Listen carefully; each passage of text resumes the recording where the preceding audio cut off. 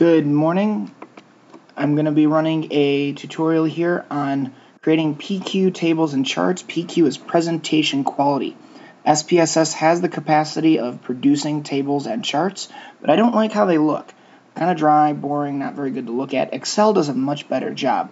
So what I need to do is take my tables here that I created. In this case, our example is a gender variable from the MCIC dataset, SEC01, and we need to bring it into Excel. To do that, I'm going to right click and choose copy. And then I'm going to go over into Excel. And I apologize if this is a little small. I'm trying to work with the video resolution here. I'm just going to click on one of the open cells and I'm going to paste this in. And let me see if I can just make this a little bigger for you. You can see here, this is the exact same table that we had. We can actually click in the different cells.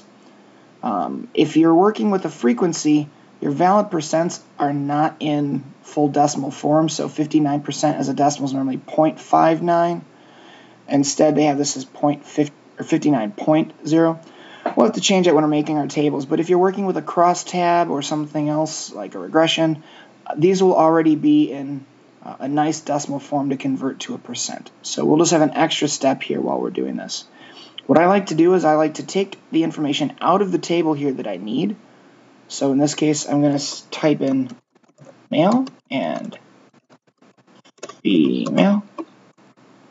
And then I'll copy over the information that I want. I generally use copy and paste here so I don't lose any decimal point information. I'm just going to clear off any brackets that those had.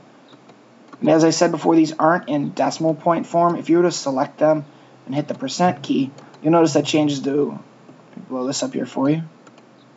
This changes to about 4,059,000 or so. We don't like that, so I'm just going to push enter and divide by 100, and that'll reduce it back to 41% for me. I'll do the same thing here. Back to 59%. Up here I'm going to type in gender, that's what I'm measuring. And to make my chart, I'll just select this data.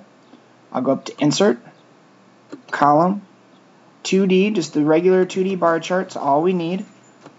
No need to get extra fancy here. Sometimes the, the rule of thumb when making these is to keep it clear, uncluttered, and easy to read. The fancier the table, the more difficult it is to read. So there's all different ways to make a PQ chart and how to edit them. When we're making a column chart, you usually don't need the labels here unless you've got multiple different color columns. We just have one type here, so we're going to get rid of that. Get rid of these background lines here, and all I'm doing is I'm clicking on it and I'm pressing the delete key on the keyboard. I'm going to get rid of these percentages here. I'm going to click on the column. I'm going to right click on that and I'm going to add data labels. And that's going to tack on the percentages that correspond to each one. I'm going to make these a little larger. I'm going to increase this up to a 12 font. That way, in case I decide to bring this into, say, word processor like Microsoft Word, these will be a little easier to read. There we go. We're just about done making a nice clean chart. What I also like to do, I'm going to click and drag this up just a little bit so I have some extra room down here. Is I'm going to add in, go to Insert, add in a text box. And down here on the bottom, I'm going to draw my little text box. And I'm going to do a right justify so it tucks into the corner there. To do n equals, and I'm looking up here for the total number. I'm going to match that. 36687.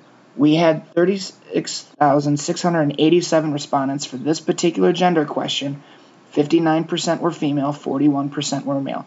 This N here is nice to know. That way it tells the reader you had 59% female of what, 10 people, 100 people? No, over 36,000 people.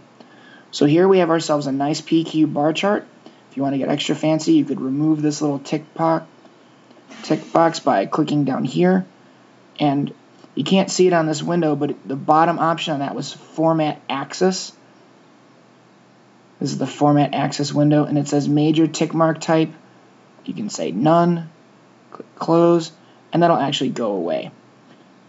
There is a file called PQ Gallery in my Downloads section that shows all sorts of different type, types of charts and tables and how they would look. It's not going to tell you how to get them to look like that, but it's going to show you the finished product. So a little creativity and finagling and you'll be able to do it. Let's pay attention over here and make this way a PQ table that we had.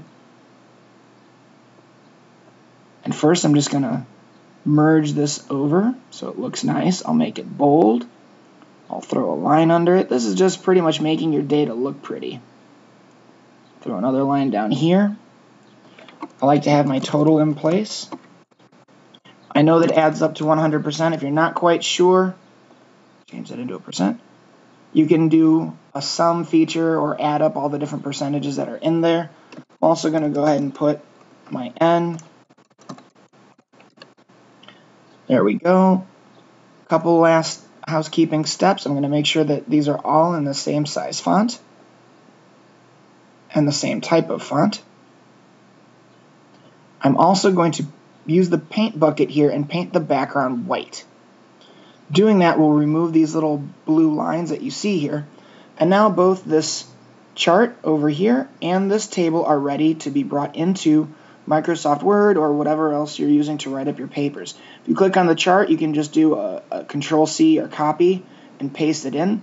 I always recommend using the default size of the chart that you've made and then making it smaller in Word if you need to. Because if you make it too small in Excel and then bring it into Word and you try to make it larger, it might be a little grainy and distorted. And with the table over here, select your table, and depending on what type of, I'm sorry, what version of Excel you have, look for something called copy as picture. In 2007 version, it's located under paste picture to copy as picture. You can find it here and just choose the default settings. These are fine. And then you can paste it in to Microsoft Word. Uh, if you just go ahead and do this way with a control and then paste, you're going to paste it as a table, not as a picture. Pictures are easier to manipulate, making them larger and smaller, putting things like wrap text so your words flow around the image. Uh, tables are a little more difficult to work with. So I definitely recommend copy as picture. And that covers it.